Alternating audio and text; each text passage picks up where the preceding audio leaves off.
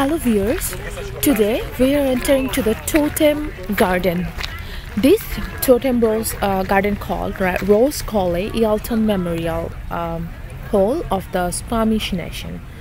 It was raised in 2009. This pole was created to honor Rose Cole Yelton and her family and all those who lived in Stanley Park. The pole is erected in front of House White uh, where the Cole family lived until 1935.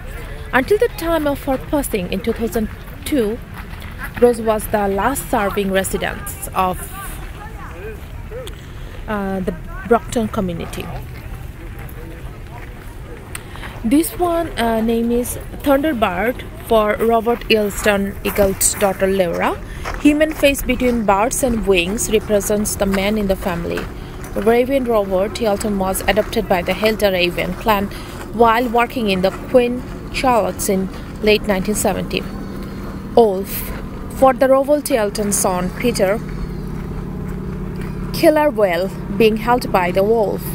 The craver include a killer whale to remember its fairy trips across the bird in it and his grandmother Malta when they'd see whales. Women holding bones.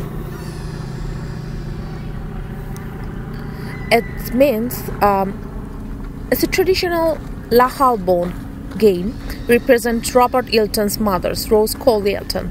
Illustration by Nola Johnson. And I can show you more totem. And every totem has their own meaning.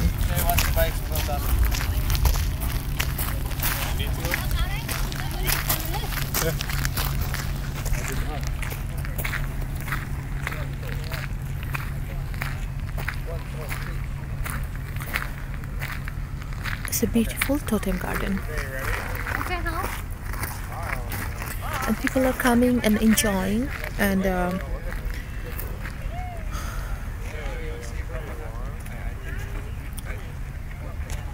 this archaeological site